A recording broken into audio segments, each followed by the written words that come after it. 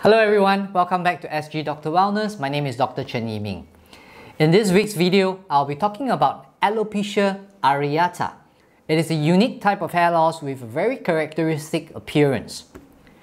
What exactly is alopecia areata? How is it diagnosed? Who are at risk of getting it? And how can it be treated? Watch till the end to learn more about it. And if you're new to my channel, click on the subscribe and notification button now.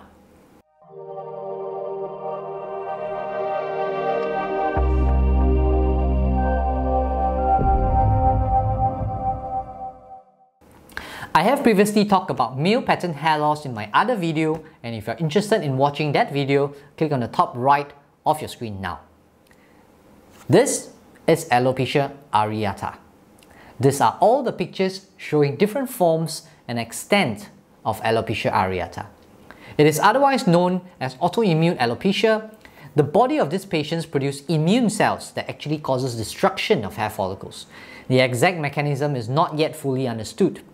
Clinically, the bald patch will look pinkish and smooth with very fine thin hair surrounding it. And if you examine the fine hair surrounding the patch of hair loss with the dermatoscope or magnifier, you may see exclamation mark hair where there's thinning of the stalk of the hair near to the follicle. This hair loss disease may affect any part of our body with hair, the most common areas including the scalp and the eyebrow. Most cases are mild, where you see only less than 5 spots on the scalp. However, in severe cases, you may have alopecia totalis, where nearly all the hair on the scalp is lost, and this is seen in about 5% of all cases. Or alopecia universalis, where all the hair on the entire body is lost. Fortunately, this occurs in less than 1% of the cases. Occasionally, it can involve the nails as well. Some patients may exhibit pitting, ridging, separation of nail from the nail bed known as onycholysis. The diagnosis of alopecia areata is usually a clinical one made by the doctor's examination. What are the risk factors of getting alopecia areata? Technically, it can happen to anyone or everyone with a lifetime risk of about 1 to 2%. However, your chance of getting it is higher if there is a positive family history. So about 10 to 20% of patient has a family history of alopecia areata. Two, if you have other autoimmune diseases like celiac disease, thyroid disorders, vitiligo or rheumatoid arthritis. Three, if you have allergic conditions like atopic eczema or allergic rhinitis. We do know also that there are triggering factors that can provoke the onset of hair loss like emotional or physical stress, hormonal changes, trauma, and viral infections. Is alopecia areata treatable? Definitely. The milder cases of alopecia areata tend to recover on their own. It may take months to years before the hair on the bald patch gradually grow back again. There are some ways to accelerate the hair regrowth.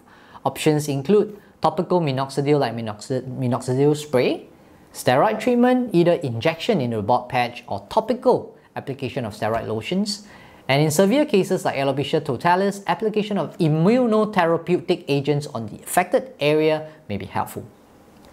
Systemic treatment with oral or intravenous medications may be reserved only for patients with rapid and chronic hair loss that involve large areas of the body. Oral steroids or even oral biologics have been explored. However, recurrence rate for alopecia areata is pretty high, as high as 50%. In some cases, the hair loss may be permanent. Avoidance of stress may be helpful in reducing the recurrences. Click on the top right of the screen now to access my video on the top 10 ways to maintain a healthy mind to reduce your stress. When all else fails, artificial hair such as wigs or hair pieces can be used to provide coverage for the scalp. Artificial eyelashes or eyebrows or innovative cosmetics and tattoo can be used to improve the appearance. So there you go. I hope you have learned more about this type of hair loss, understand that it is autoimmune in origin and it can be recurrent. Seek treatment early if you see this happening to you or your loved ones. Share this video if you find it helpful.